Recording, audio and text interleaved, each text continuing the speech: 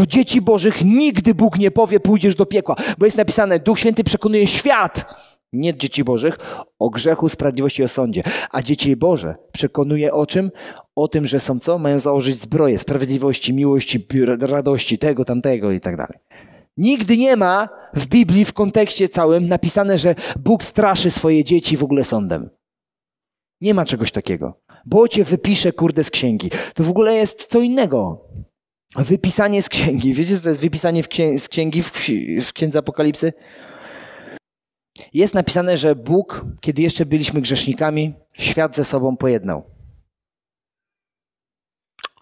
A zatem wszyscy ludzie na tej ziemi zostali wpisani do księgi. Wszyscy. Grzesznicy, cudzołożnicy. I teraz Bóg zrobił taki myk. Dlatego, jest zbawienie za darmo. Bo ludzie sobie myślą, jak się wpisać do księgi? No to już wpisane. się tam nie... Tylko, że miłość wymaga twojej zgody. Nie ma miłości bez wolności, więc on, on wymaga twojego tak. Więc kiedy ktoś się nie narodzi na nowo, nie zgodzi się z tym, że został wpisany, jest wypisywany.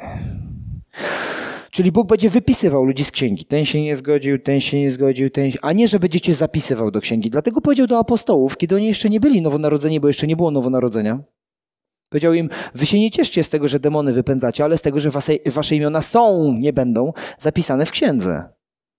Wiadomo, że jest, jest poza czasem, można snuć teorię, ale generalnie chodzi o to. Oczywiście to nie jest teoria uniwersalnego zbawienia, że teraz wszyscy są zbawieni. Nieprawda. Wszyscy są wpisani w księgę ale może cię z niej Jezus wypisać. Jak? Kiedy nie narodzisz się na nowo. Proste. A nie, że stracisz zbawienie.